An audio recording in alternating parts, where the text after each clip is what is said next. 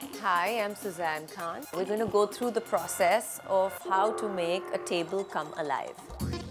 We have all our products from the home label right here.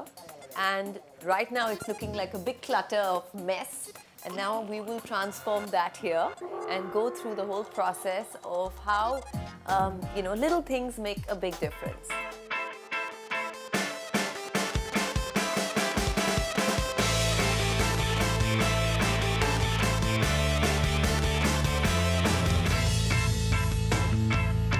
Have a whole load of platters and these platters are very interesting because when or one is setting up a table, it's very important to make it very earthy. So when you have like wood as your base for a platter, it definitely adds a lot of warmth and a lot of depth.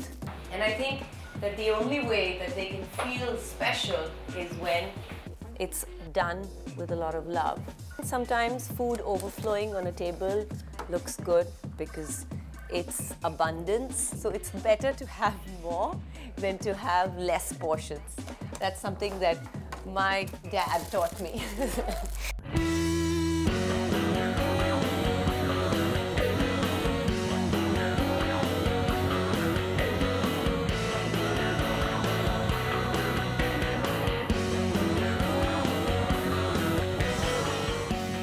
I'm just going to put in some really lovely cranberry juice because cranberry juice adds a lot of color.